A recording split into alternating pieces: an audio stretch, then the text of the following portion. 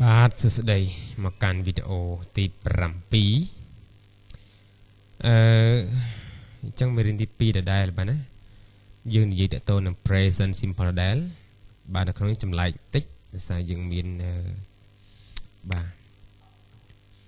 យើងរៀនពីប្រយោគសំណួរដដែលបាទណាប្រយោគសំណួរប៉ុន្តែយើងសំណួរជាមួយនឹង verb to be បាទចឹងបងប្អូនដឹងហើយ verb to be មានអីគេខ្លះយើងដឹងហើយកាលមានរៀនមុននោះ បាទនេះរូបមន្តបាទបាទរូបមន្តវាអញ្ចឹងដូចគ្នាអឺ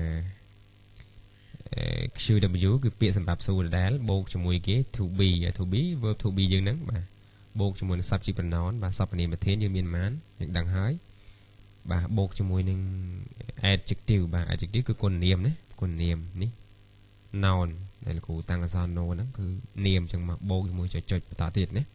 ចុងក្រោយគឺសញ្ញាសួរបាទ អឺអញ្ចឹងអឺពីលើកមុនយើងនិយាយពី do និង the គឺវា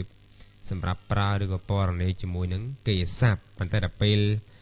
verb to be យើងគឺយើងប្រើសម្រាប់ពណ៌នាទៅលើ adjective ឬក៏ noun នេះចឹងមកណាតោះបើយើងមិនខាតពេលយូរចាប់ផ្ដើមមើលឧទាហរណ៍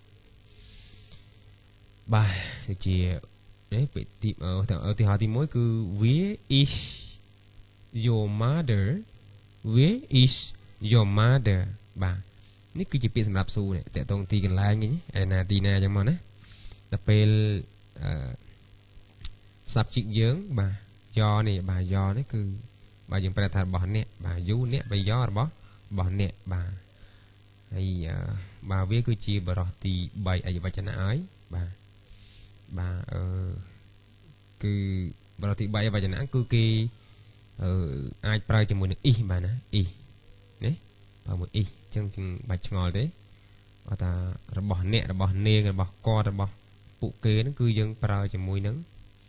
បាទ is ហ្នឹងហើយណាបាទប្រើមួយ is ហ្នឹងហើយដោយសារគេចាត់ទុកថាវាជាបរិសទី3ឯកវចនៈប៉ុន្តែវាក៏ជា subject ដែរណាបាទអញ្ចឹងយើងប្រើមួយ is ហ្នឹងយើងយើងចាំបាទអញ្ចឹងអឺ mother ជាគេបាទជានាមបាទណានេះឃើញទេបាទអញ្ចឹង where is your mother បាទយើងប្រែមកថាតើម្ដាយរបស់អ្នកឯងនៅណាបាទគេទី2 what is your name គេបាទ what ជា WH គេហើយពេល is ជា to be ដល់ពេល your នេះជា subject ចឹងមកបាទ name គឺបាទបាទនេះ name ហ្នឹងបាទណាអញ្ចឹង what is your name តើនេះឈ្មោះអ្វីចឹងមកទី3គឺ who អេ who is she បាទ បាទអញ្ចឹងអឺនេះជាពាក្យសម្រាប់សួរទៀតហើយណា to be អ៊ីគេពេលអីគេអឺ subject pronoun អញ្ចឹងគឺ she ហ្នឹងអញ្ចឹងវា is she បាទតើនាងជានរណាហើយថាបូកជាមួយអីទៀតបាទបូកជាមួយនឹងគុណនាមទៀតតែភាសាយើងសួរតែប៉ុណ្ណឹងបាទសួរតែប៉ុណ្ណឹង who is she តើនាងជានរណាបាទនាងជានរណា តែបើសិនយើងដាក់គុណនាមតពីមុខទៀតអញ្ចឹងវាទៅជាឧបមាថា who is she បុប្ផាតើនាងជានរណាបុប្ផាវាអត់អត់ថោដោយសារយើងសួរថានាងជានរណាយើងមិនដឹងទេសំណួរគឺសំណួរបែបមិនដឹងទេបើសិនយើងដាក់បុប្ផាទៀតយើងដឹងថានាងជាបុប្ផាបាទអញ្ចឹងគឺតំណឹងបាទណា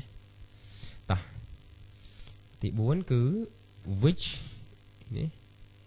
which is your book បាទចាំមិនខុសពីឥឡូវដូចគ្នាណា ចឹងយើងប្រែ which យើងប្រើសម្រាប់សួរពីជំរើសតើមួយណាជា support របស់អ្នកឯងបាទ which is your book តើមួយណាជា support របស់អ្នកឯងបាទអទី5 Are you a student បាទអញ្ចឹងគឺ A នេះបាទ A នេះគឺជា verb to be ខ្ញុំអត់ប្រើ verb អត់ប្រើ WH question ទេយើងប្រើ to be តែម្ដងបាទណាយើងចាប់ដើមពី to be ទៅអញ្ចឹងសំណួរនេះគឺដូចមិនខុសពី do ពីសាមុនទេខ្ញុំប្រើធ្វើ do គឺសំណួរបែបបញ្ជាក់បាទសួរបែបបញ្ជាក់អញ្ចឹងណាគេសំណួរបែប general question ហើយចម្លើយគឺខ្លីៗទេអញ្ចឹង are you a student នេះ you គឺជា to be ដល់ពេល are គឺជា to be សំទោសបាទ are គឺជា to be តែពេល you យើងប្រើជាមួយនឹង I ថៅហើយគឺ you ជា subject នេះនេះ earn គឺជាគុណនាមចំនួនបាទគុណនាមចំនួន1ម្នាក់ចឹងមកណានេះជាគុណនាមវិញពេលនេះ noun វិញ student ជានាមតែបាទវិញអញ្ចឹង are you a student តើអ្នកឯងគឺជាសិស្សមែនឬបាទនេះគឺការបកប្រែរបស់លោកគ្រូហើយយើងមើលតាមហ្នឹងទៅបាទសូមស្ដាប់ការអានរបស់លោកគ្រូម្ដងទៀតអឺ Where is your mother What is your name Who is she Which is your book uh, Okay Are you a student បាទ Are you a student សំណួរទី4ជាងចម្លែកតិចដែរបាទអូខេនឹងអរគុណច្រើនហើយយើងមើលការបកប្រែទៅណាយើងលោកគ្រូសូមបញ្ចប់វីដេអូតាមនេះអរគុណច្រើនបាយបាយ